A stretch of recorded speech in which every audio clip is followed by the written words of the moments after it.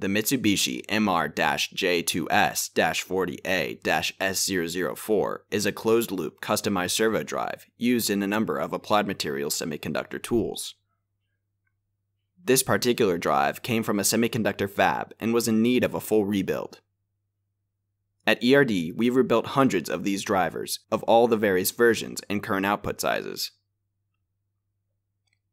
We have a number of Mitsubishi test motors to match to most of the versions, and as shown in the video, we are testing this driver using one of those motors. Since the 1990s, ERD has been the leading edge in new technology repair. We invested early in the repair of PWM motor controls and spent a lot of time developing our repair tools for various models of servo motor controls.